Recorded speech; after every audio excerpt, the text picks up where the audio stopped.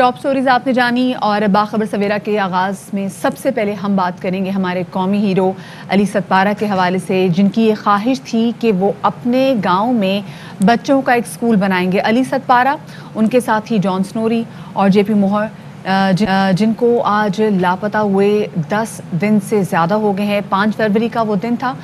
जब आखिरी बार उनका उनके बेटे से रबता हुआ था और उसके बाद शफात आज 16 फरवरी होगी और अभी तक रबता नहीं हो पाए। गो कि मुसलसल अभी भी aerial operation aerial rescue operation जारी हैं कि किसी भी तरीके से आ, अली सतपारा और उनके साथियों की खोज लगाई जा सके। ये ऑपरेशन तो अभी मुकम्मल नहीं हुआ लेकिन तलाश उनकी जारी। लेकिन शफात जो उनका ख्वाब था, अब उस ख्वाब के वाले से उन्होंने कहा था मैं सर्दियों में, मैं चाहता हूँ कि सर्दियों में केटू सर करूँ। बहुत सारे लोग ये समझते हैं कि जी, शायद वो पहली बार केटू सर करने जा रहे थे।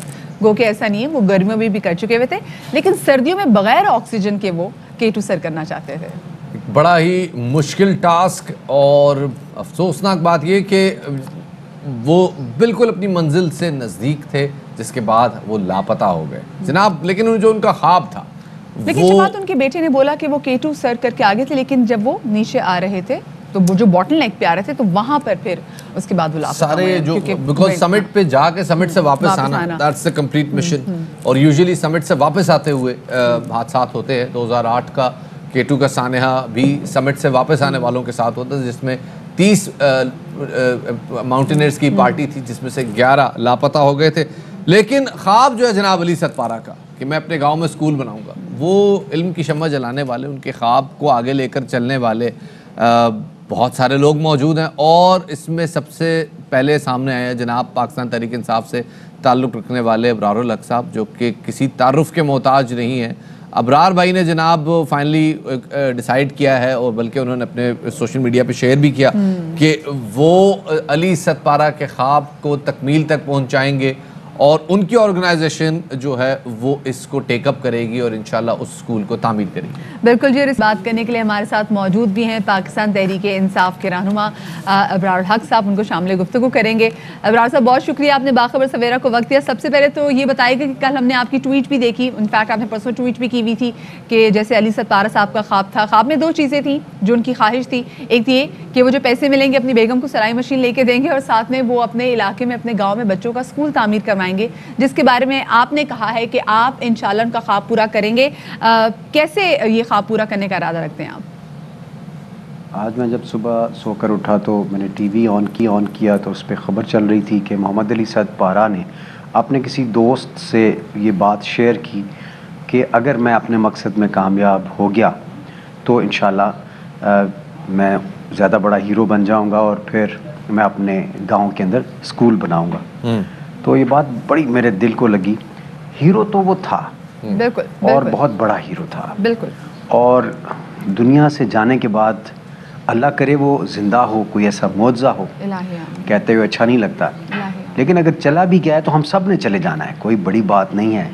लेकिन इस तरह जाना जो है यकीनन एक बड़ी बात है। दलेर आदमी था।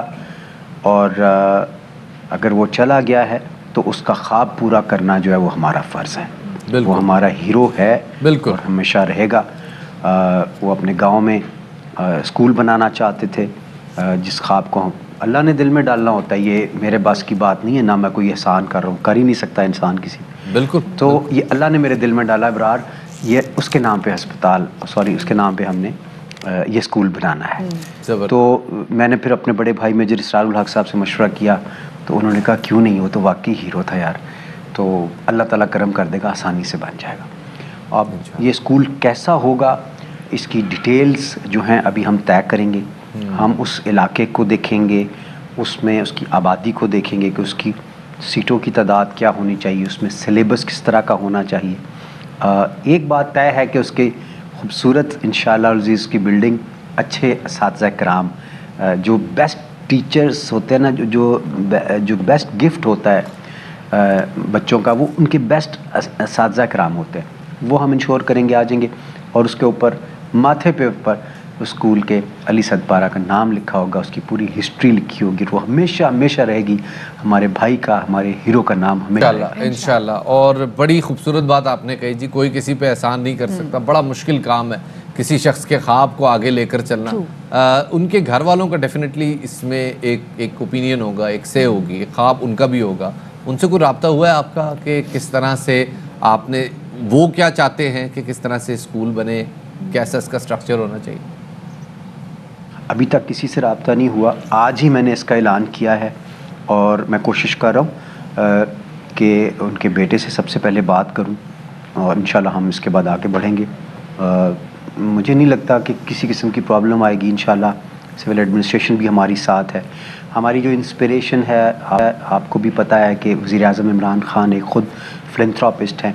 वो इस तरह के काम करते आए हैं और हम उनको फॉलो करते तो आ, हम आ, ये हुकूमत भी सोशल वर्क और इस तरह की ह्यूमैनिटेरियन सर्विसेज़ को प्रमोट करती है उनको सपोर्ट करती है। तो उम्मीद है कि हमें लोगों से भी सपोर्ट मिलेगी ताकि इसको हम अच्छे से अच्छा स्कूल जो है बना सकें। मैं ख़ुद भी इसमें इन अतिया दूँगा और अपने दोस्तों से भी कहूँगा कि उसमें ज़रूर डोनेट करें ताकि जल्द अज जल्द इस ख्वाब की तकमील हो अच्छा इब्रार यहाँ पर आपसे ये बात करना चाहेंगे कि एक इतना बड़ा हीरो एक ऐसा शख्स जिसने तमाम तो जो समिट्स हैं वो कीमी थी। और उसके बावजूद जब उनके ख्वाब देखते तो बड़े छोटे ख्वाब थे कि मैं अपने गाँव में एक स्कूल बनाना चाहता हूँ, मैं अपनी बेगम के लिए एक सिलाई मशीन ख़रीदना चाहता हूँ। और इसके साथ साथ हमने देखा है कि जो हमारे कोपैमा होते हैं, जो कि इतनी बड़ी से बड़ी मुहिम पर निकलते हैं समा उनकी लाइफ के हवाले से उनके पास कोई एज सच श्योरिटीज़ नहीं होती। उसके अलावा, जब ये कोपैमा अपने बड़े मिशन के लिए, अपने मुहिम के लिए निकलते तो हमने देखा कि स्पॉन्सर्स का बहुत बड़ा फुगतान है यहाँ पर। हम क्यों नहीं यहाँ पर अपने काम को मार्केट कर पाते, अपने कोपैमाओं को मार्केट कर पाते? और स्पेसिफिकली हम देखें तो बहुत सारी जगहों पे जो लोग अपना ख्वाब भी पूरा करना चाहते हैं समिट के हवाले से, उनमें तरबियत का भी फुगतान है। किस तरीके से हम इस गैप को पूरा कर सकते हैं? आपने एक और अच्छे चीज़ की तरफ़ तवज्जो दिलवाई। इसके ऊपर मार्केटिंग होनी चाहिए। हमारे पास बहुत बड़ी बड़ी मार्केटिंग कंपनीज़ हैं। और जब आवाज़ उठाएँगे किसी भी काम के लिए तो लोग सामने आते हैं अमूमन कॉरपोरेट कंपनीज़ अपना फ़ायदा देखती हैं हम्म। और मैं उनसे ये कहूँगा कि जो सी एस आर का बजट है वो इस तरफ़ ज़रूर लगना चाहिए क्योंकि पाकिस्तान का दुनिया के अंदर हमने अच्छा इमेज पोर्ट्रे करना है और उस को उसी सूरत में मुमकिन बनाया जा सकता है कि जब वो इन्वेस्ट करेंगे इन लोगों पे आप ऐसे अपने हीरोज़ पे कि जो उनके लिए पूरी दुनिया में नेम और फेम लेकर आएँगे। सो उम्मीद है आने वाले वक्तों में जो है लोगों की इस तरफ़ तवज्जो आएगी अब, क्योंकि एक शख्स की कोशिश की वजह से वजह से होता है ना, पहला बारिश का कतरा ज़मीन पे पड़ते ही ख़त्म हो जाता है, मगर वो और बहुत सारे कतरे जो हैं बाद में उनको इनवाइट कर रहा होता है इंस्पायर कर रहा होता है। तो इन इस इंस्पिरेशन को हम आगे लेकर जाएँगे और बहुत सारी कॉरपोरेट कंपनीज़ भी आके इसमें इन्वेस्ट करें। बहुत बहुत शुक्रिया जी। अबरार साहब हमारे साथ मौजूद थे और बड़ी खूबसूरत बात कर रहे थे।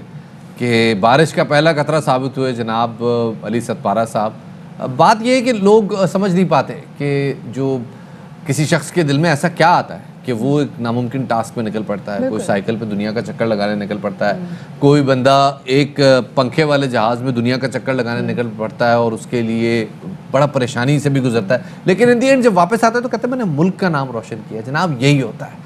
कि जब आप कोई एक ऐसा काम अपने मुल्क का झंडा पहन के कवर कर लेते हैं तो फिर पूरी दुनिया की हेडलाइन आती है जनाब पाकिस्तान से ताल्लुक रखने वाले फलां शख्स ने फलां कारनामा किया।